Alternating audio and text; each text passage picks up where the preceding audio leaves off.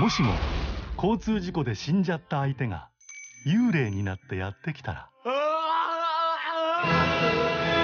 本当に申し訳ありませんでした。お願いですから消えてください。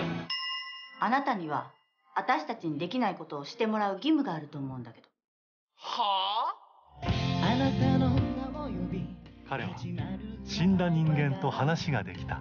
いくらくれんの？あんたって最低ね。私結婚式あげるのが夢だったの。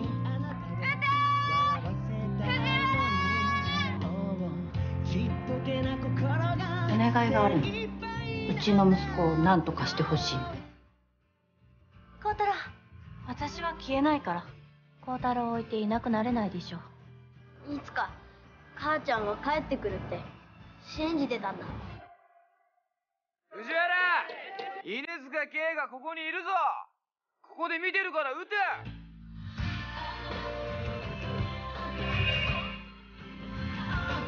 頑張るから。母ちゃんの分まで。頑張って生きるから。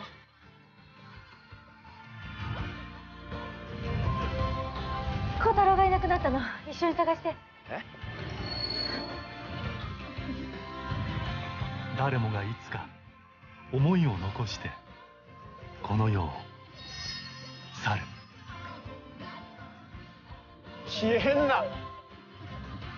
思い残し。